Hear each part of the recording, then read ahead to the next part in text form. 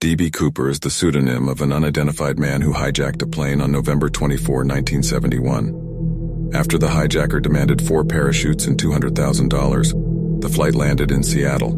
There, the flight's passengers were exchanged for the ransom money and parachutes. The flight then took off again and headed for Mexico City. But somewhere between Seattle and Reno, the hijacker jumped out of the plane with a parachute and the money. The hijacker has not been found to this day.